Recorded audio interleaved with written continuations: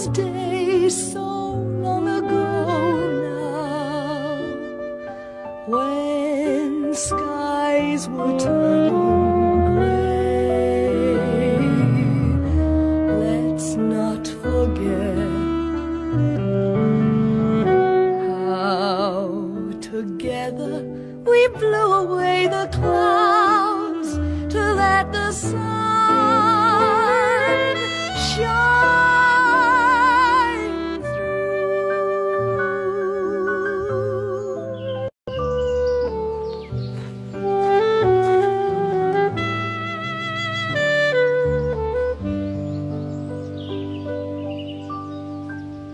1942 was a drab year.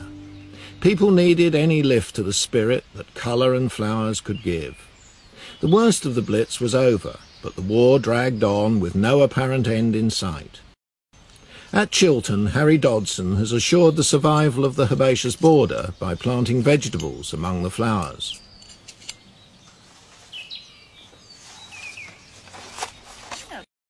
Producers at the BBC used comedy sketches to make wartime recipes more palatable. The Buggins family, popular from pre-war radio, were enlisted. I know. I'll make a Connaught pie. Another disguise for parsnips. Joyce? No. Ruth Mott and her evacuee Joyce tune in to the kitchen front. Five ounces of flaked oats, a pint of water. Uh, there's one thing they ain't rationed yet. Don't, Grandma, you'll make me lose my thread. Where was I? Five ounces of flaked oats and a pint of water. Then there's half a leek, one teaspoonful of mixed herbs, and one teaspoonful of salt. Two ounces of leftover meat cut in slices, two ounces of cheese, and one pint of sauce. What kind of sauce? Well, you make it with three ounces of national flour and a pint of vegetable stock or water and the two ounces of cheese. Sounds all right. What are you going to do with that lot? Well, you put your flaked oats and the leeks and the seasoning and the mixed herbs and the water in a pan and bring it to the boil. Boil it till it's thick, 20 to 30 minutes. Then you turn it onto a flat plate and let it cool.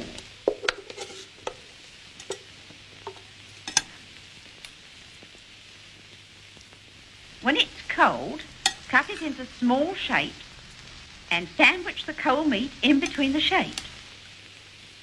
Then you arrange them in a flat dish and pour the cheese sauce over. You grill it or brown it in the oven. That sounds very tasty. Very tasty indeed. If you like to make all that fuss over Maria, I wouldn't. Besides, it might tempt her to stay if your cooking's too good. Don't do to cook too well. That's what made Louisa Nutbutton's husband marry her. She said to me time and again with tears in her eyes, I'm afraid, Clara, she says that Henry only married me for my cooking.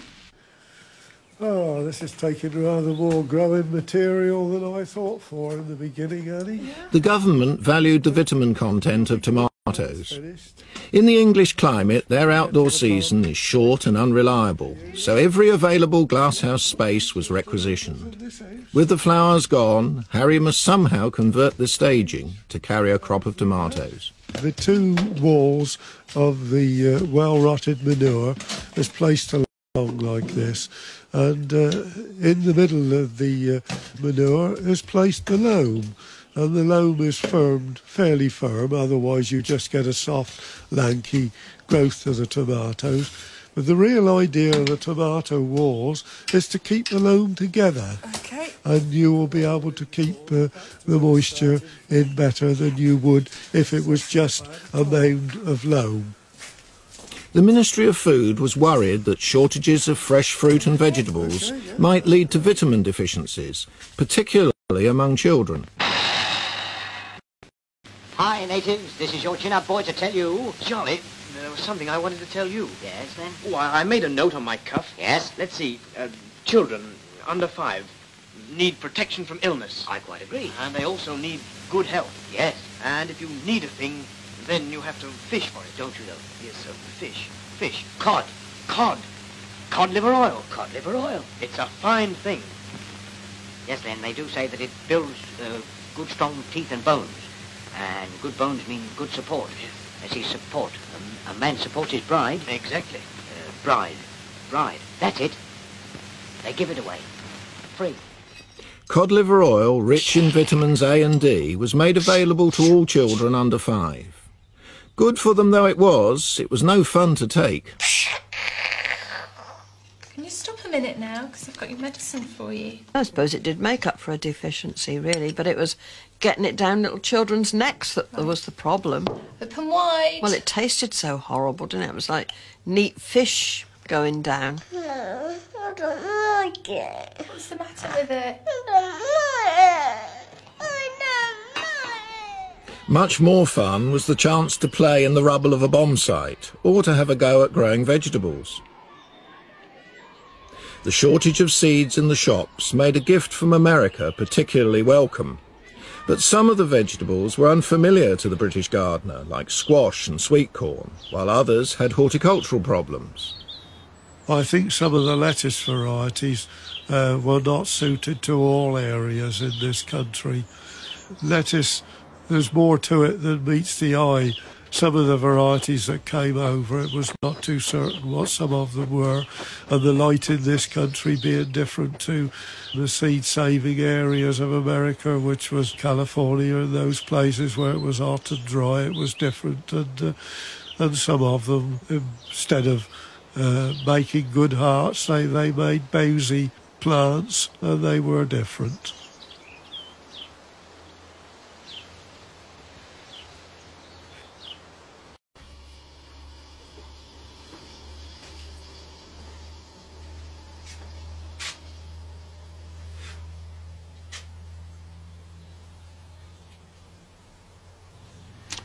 I'm pollinating them. On a nice morning like this, this requires doing two or three times a week. The pollen is dry, the, the atmosphere of this house is reasonably dry this morning, and the pollen is on the stamens, but uh, it needs shifting. And just a tap like this moves the pollen, which falls onto the stigma, and you get a pretty good set.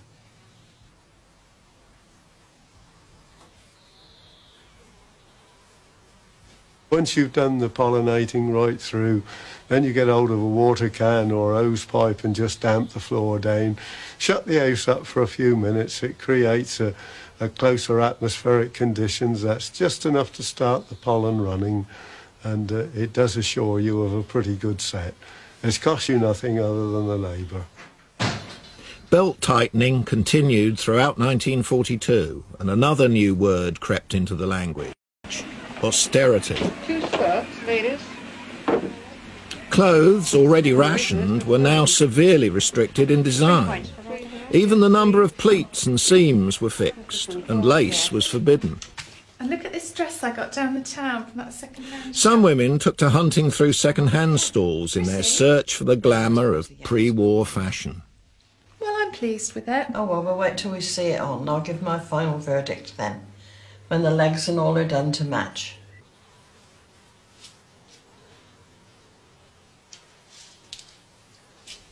Harry's saved every bit of wood ash he can to lavish on his tomatoes. It contains the potash necessary for healthy growth. Potash during the war was extremely difficult to get hold of and very costly, but a useful crop of tomatoes must have a goodly supply of potash, and the potash prevents the greenback, as we called it in tomatoes. That's a green ring round the top of the tomato where the stalk is joined. And that, of course, wouldn't ripen if the plants were lacking potash.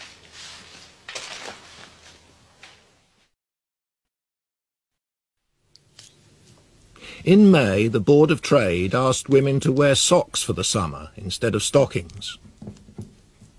Many preferred to give the impression of wearing stockings by painting their legs. All manner of recipes were tried, suntan lotion, gravy browning, and even onion juice. The final touch needed a friend with an eyebrow pencil and a steady hand.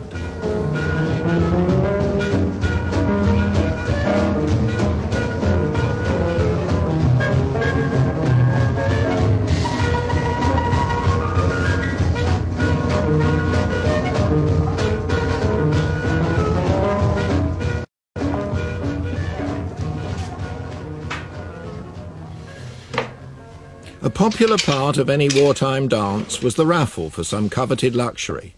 Tonight, Joyce has been lucky. She's won a banana, a fruit unseen by most people since the war began.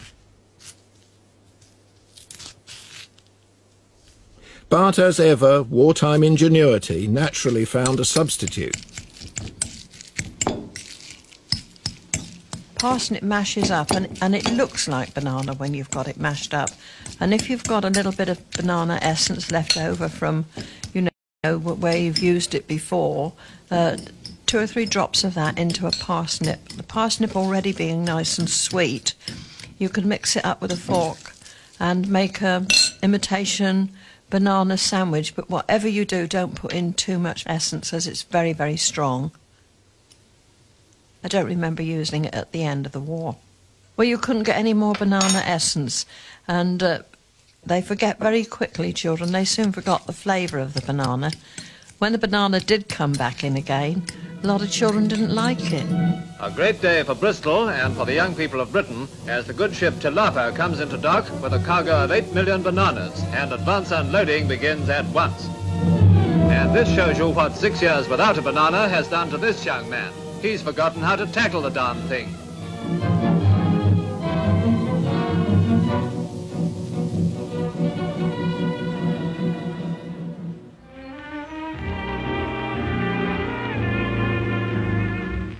Blue skies around the corner. Walk round the corner with me. Just round the corner you'll see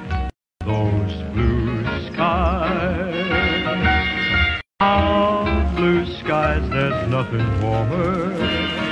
Won't you feel happy to be sharing the sunshine with me under those blue skies? This is the moment we've been waiting for.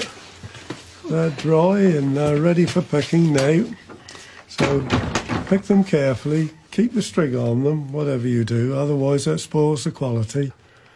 That's a bit warm in here. I'll put some more air on while you start picking.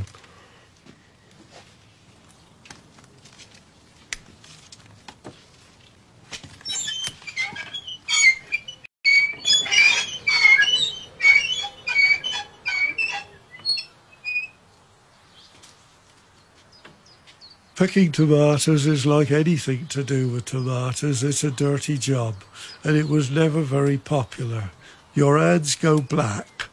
There's a, a film comes off of the tomatoes which stains you, and the foliage stains you even more. Whitefly left excretia on the leaves, which mingled in with a natural bloom off of the leaves, made it even worse. On your hands was stained something terrible. Ordinary soap wouldn't move it one of the finest things to move it was to get a, a really ripe tomato and rub it in your hands like a bit of, of soap and, and it would all squeeze through your hands. It looked pretty revolting, but it was done immediately. You'd finished the job. It was a very good thing. If a garden was registered for food production, the bulk of what it grew had to be sent to official wholesalers, but there was always something for local callers. Hello, Ruth. Hello, what Harry. you this afternoon? Ah, a little bird told me that you might have got some tomatoes. Well, I have got some. I'll let you have some, but I'm really supposed to send them all to the pool. Oh, there must be some that if aren't you ready come to go with to the me pool. then, we'll see what we can find you. I can soon squash a few if you want. Can You you? know. Oh yeah, you no think that'll problem. make it all right, do you? Oh yes, yeah. That'll make it legal, will it? Oh yes, because you can't send squashy things to the market. All right, well, we'll see what we can find you. Right. Mind the stack, won't you? Be nice if you could just have a few. About a pound and a half, that's what I'm Oh, is it all right then? issuing it out as. Pound Yeah, and a mate, half it is then. See.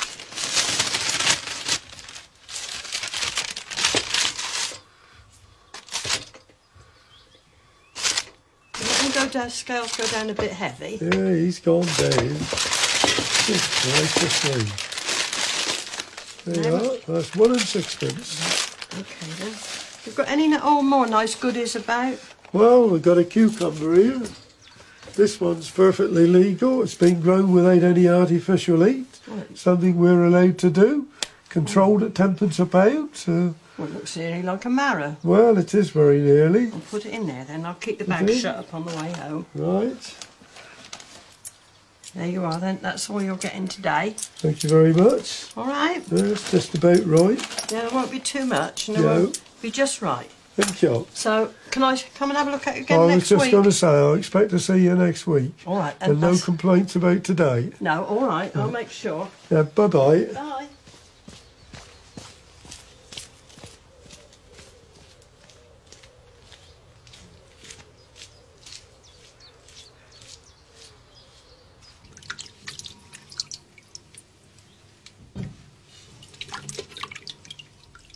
Wartime leaflets urged people to preserve tomatoes whenever they were plentiful.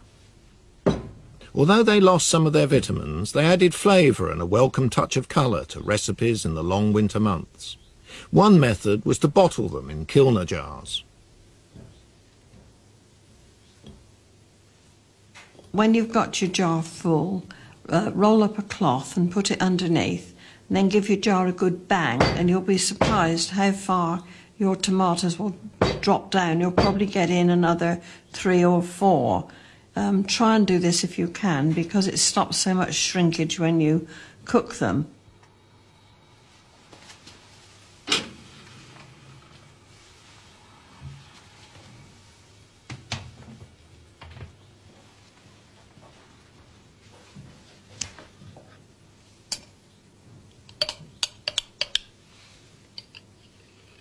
If you've got a spare jar of sort of assorted sizes, leave those and put them in with the rest because then you can carefully spoon them into the jars when they're cooked and fill your jars up again.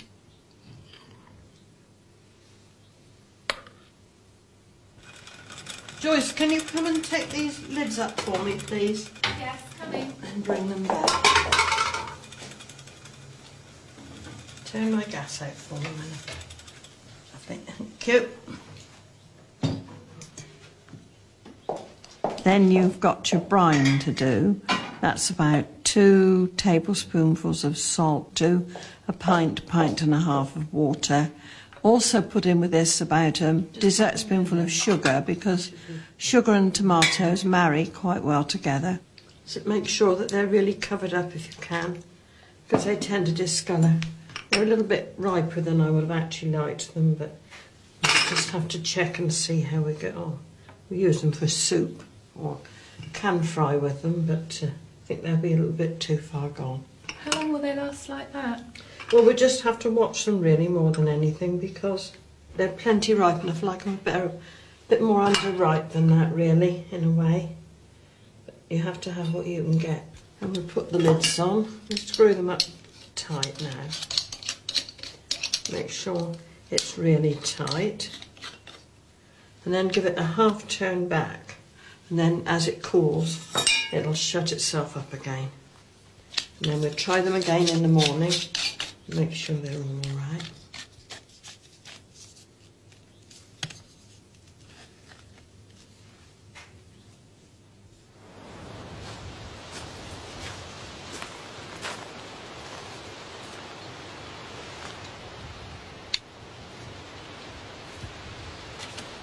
During the summer of 1942, the war reached stalemate. The Germans lay siege to the Russians at Stalingrad, and the British confronted Rommel in the deserts of North Africa. On the home front, the last luxury disappeared when sweets came on ration. Although the sun shone, the country's mood was far from sunny. The BBC did its best to ease the loneliness of separation that so many now felt.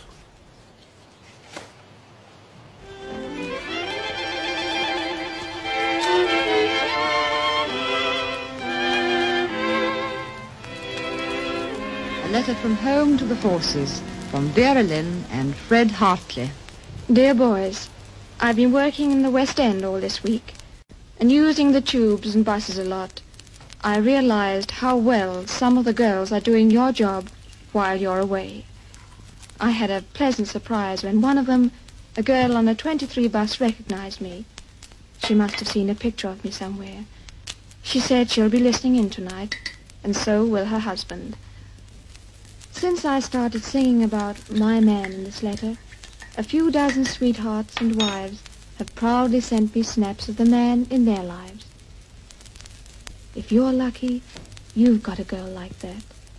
A girl who'll stick by you through all weathers and all your ups and downs. She'll stand by you. She'll take the kicks. She'll be proud to call you my man. Fish got to swim fly. I got to love one man till I die.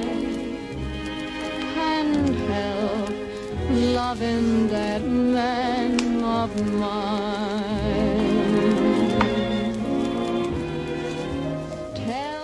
You can't expect things to be as good as they were for you in peacetime, so try to make the best of things as you find them.